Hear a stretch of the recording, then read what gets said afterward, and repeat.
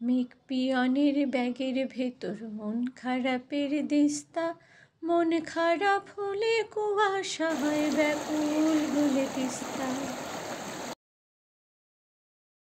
নমস্কার বন্ধুরা, উত্তরবঙ্গের পাহাড় এবং ডুয়ার্স ঘুরতে আসার কথা হলে যে ছবিটা সবার আগে আমাদের চোখের সামনে ভেসে ওঠে তা হলো করোনেশন ব্রিজ। আজকে আমরা চলেছি করোনেশন ব্রিজের উদ্দেশ্যে, কিন্তু তার আগে আমরা উত্তরবঙ্গের আরও একটি অফবিট ডেস্টিনেশন বাগরাকোট ঘুরে দেখে তারপর আমরা করোনেশন ব্রিজে যাব।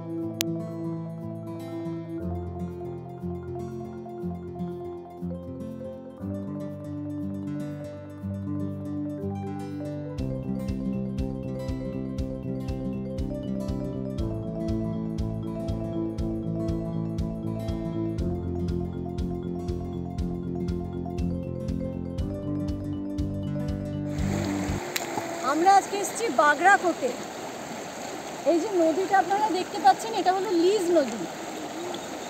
নদীর জল প্রচণ্ড ঘোলা।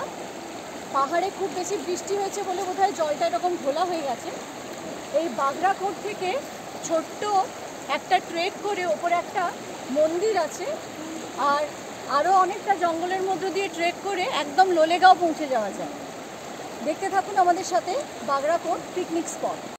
বাগরাকোট মালবাজার থেকে সেবকের দিকে প্রায় আঠেরো কিলোমিটার রাস্তা আসলে ডান দিকে একটি রাস্তা চলে যাচ্ছে বাগরাকোটের দিকে। চা বাগান পেরিয়ে মিলিটারি কলোনি পেরিয়ে আসছে বাগরাকোট পিকনিক স্পট। আমরা এখন দাঁড়িয়ে আছি বাগরাকোট পিকনিক স্পটে। এই যে নদীটি আপনারা দেখছেন, এখানে বর্ষার সময় ছাড়া সারা বছরই কিন্তু জল থাকে না তেমন। এবং শীতকালে এখানে বসে পিকনিকের আসর। বাগরাকোটের অধিকাংশ জায়গায় কিন্তু আর্মিদের দখলে। এই লিজ নদীর একদিকে পাহাড় অন্যদিকে জঙ্গল আর প্রচুর পাখির কিচিরমিচির ডাক। একদম একটা অন্য রকম পরিবেশ।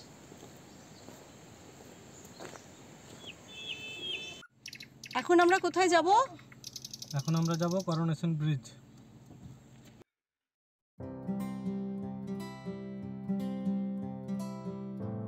এই যে বিশাল চা বাগানটা আপনারা দেখতে পাচ্ছেন এটি প্রায় চারশো নব্বই হেক্টর এরিয়া জুড়ে অবস্থিত। এটি মূলত গোয়েঙ্কা ডানক্রান গ্রুপের আন্ডারে ছিল। উনিশশো আটানব্বই নিরানব্বই সালে এখান থেকে one point four one six million KG চা উৎপন্ন হয়েছে। দু হাজার পনেরো সালে এটি বন্ধ হয়ে যায়। কি ভাবছেন বন্ধুরা? বর্ষায় ডুয়ার আসবেন কিনা? নিজেরাই দেখুন।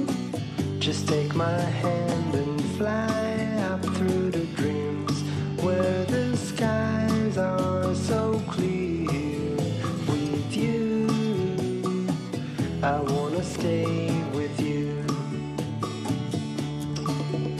With you, I love the way that you love me today. Let's run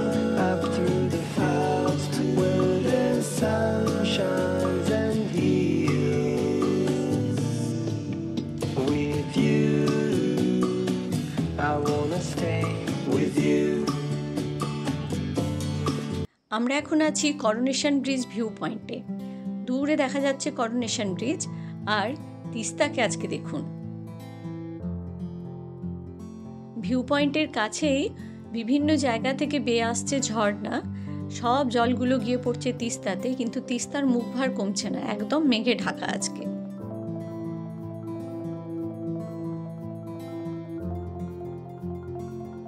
Coronation Bridge স্বাধীনতার পূর্ববর্তী সময়ে ব্রিটিশ রাজা ষষ্ঠ জর্জ এবং রানী এলিজাবেথের রাজ্যাভিষেককে স্মরণীয় করে রাখতে এই ব্রিজটি তৈরি হয়েছিল।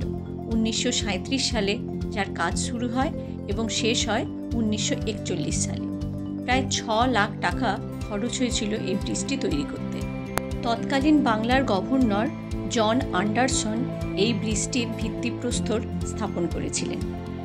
দার্জিলিং ডিভিশনের পিডাব্লিউডির এক্সিকিউটিভ ইঞ্জিনিয়ার জন চেম্বার এই পুরো ব্রিজটি ডিজাইন করেন এবং বম্বের জেসি গ্যামন কোম্পানির দ্বারা এই ব্রিজটি তৈরি হয়েছিল।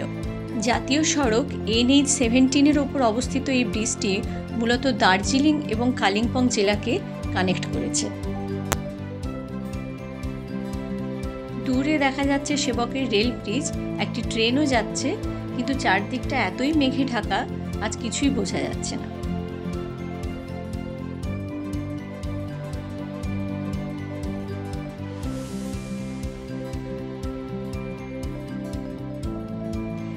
পৃথিবীর যত মন খারাপ যেন আজকে সব তিস্তার কোলে এসে জমা হয়েছে। একদম মন কেমনের নদী।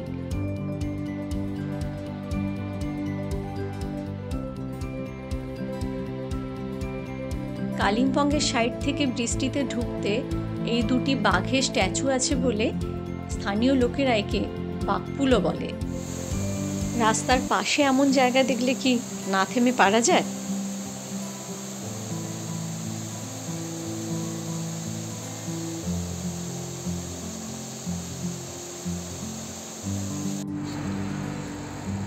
আমরা এখন আছি তিস্তার পাশে। করোনেশন ব্রিজ আমাদের পেছনে। ছাড়িয়ে একটু এসেছি। এখন সামনে সেবকের রেলের ব্রিজ দেখা যাচ্ছে। আর তিস্তা আজকে অপূর্ব সুন্দর দেখতে। পুরো মেঘে ঢেকে গেছে। জল যে খুব একটা আছে তা না, কিন্তু পাহাড় আর নদীর মাঝখানে মেঘ একদম ভর্তি। আর সেই মেঘের পাশে দাঁড়িয়ে একটু টিপ ব্রেক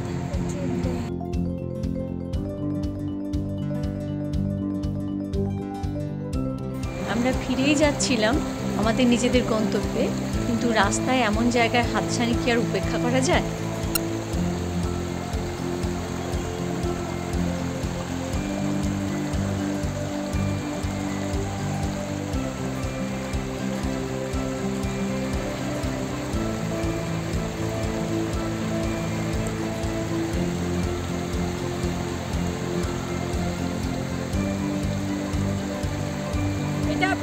পাচ্ছেন লিজ নদী। আমরা গেছিলাম করোনেশন ব্রিজে ফেরার পথে নদীতে জল দেখে আমরা দাঁড়িয়ে পড়লাম। সচরাচর এই নদীটায় জল থাকে না, কিন্তু বর্ষাকালে ডুয়ার্সের সমস্ত নদীগুলো জলে পরিপূর্ণ থাকে। বর্ষাকালে আপনারা একবার ডুয়ার্স ঘুরে যান। হয়তো জঙ্গল সাফারি এই সময় করতে পারবেন না, কিন্তু প্রকৃতির যে রূপ আপনারা দেখতে পাবেন বর্ষাকালে, তার কিন্তু কোনো তুলনা হয়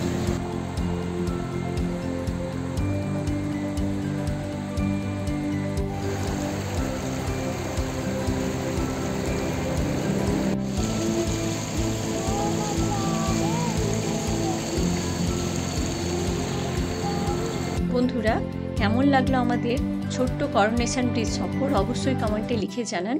ভিডিওটি ভালো লেগে থাকলে অবশ্যই একটি লাইক করুন, বন্ধুদের সাথে শেয়ার করুন এবং অবশ্যই সাবস্ক্রাইব করুন সাউন্ড অফ তিস্তা আবার দেখা হবে নতুন কোনো ব্লগের সাথে। ততক্ষণ ভালো থাকুন, সুস্থ থাকুন এবং অবশ্যই ভ্রমণে থাকুন।